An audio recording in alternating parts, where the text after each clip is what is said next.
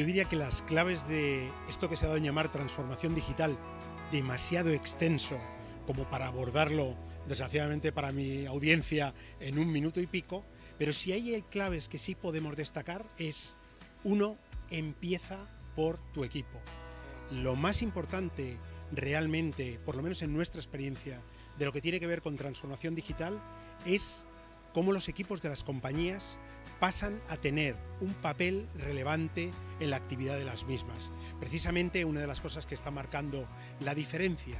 entre las compañías que logran cosas bastante increíbles, por así decirlo, o que tienen grandes avances en términos de su actividad y las que no, es la implicación de los equipos en el día a día de esas compañías. Hoy no solamente tenemos que vincular clientes, no solo tenemos que tener muy convencidos a los clientes que nos compran, sino que nuestro primer paso es que las personas que forman parte de nuestra empresa sean firmes creyentes en lo que tenemos que hacer ahí.